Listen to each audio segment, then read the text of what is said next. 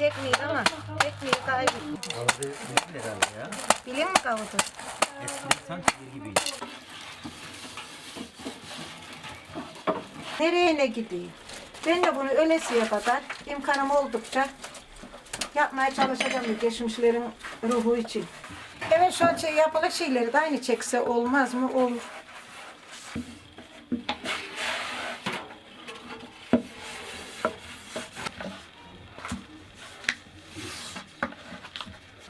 Ya nesini şey çağır gel yesin buradayız sıcağıyla sobanın üstünde. Çağırın mı? Kuz gelince Eylül Ekim'de bu armutlar olgunlaşır, erir, toplamaya gideriz. Toplamaya gittiğimizde de onu getiririz, çuvallara, torbalara katarız. Artık arabayla gittik. Getirdik saplarını, ütleriz, temizleriz. Onu yıkarız, döverin. Onu kurudurun, sererin güzelce. Bir hafta mı deyin, on gün mü deyin? Güneş olursa tez kurur. Güneş olmazsa 20 gün bilen olur. Şimdi ise de kuruttuk, öğüttük geldik. Ekmeğini de yaptım. Allah izin verirse. Onu da yedireceğim eşlere, dostlara, yakınlarıma, geçmişlerimin ruhu içinde gönderip Allah'ım da ulaştırır inşallah. Öğrettiğim şey, Belki Ramazan'da.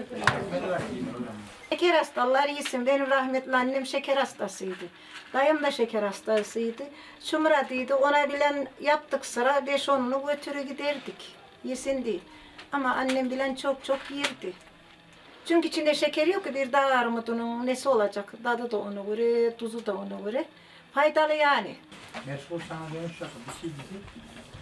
Sonra ikinci aramız cevap. Eskiden ekmek yoktu kıtlık zamanında. Bunları yapmışlar büyüklerimiz. Yine de bunu ne yapalım demişler.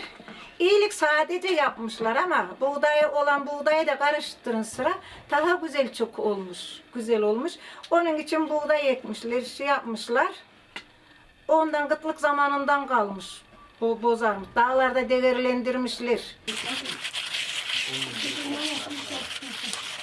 İşte fazla yapamıyorum.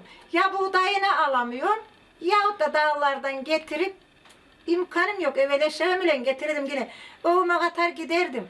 Artık şimdi o dağlara eşeğiyle de giden yok. Ben de yalnız da ne yapayım? Ben bir kendim, bir eşim var. De, İkisi de armut mu bunun şimdi? şu armut değil hocam. Bu normal buğday değil mi? Bu patatesli.